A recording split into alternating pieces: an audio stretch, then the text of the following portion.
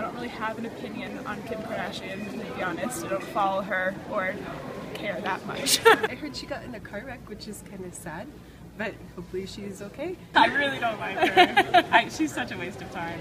Kim Kardashian, huh? Um, I wonder what clothes she's wearing. I think it was cool, but they're also just human beings skiing in Montana and an accident happened and she stole my region. What's your region? the Northwest. Oh.